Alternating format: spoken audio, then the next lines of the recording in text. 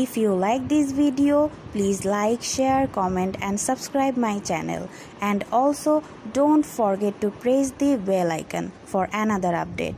Thank you.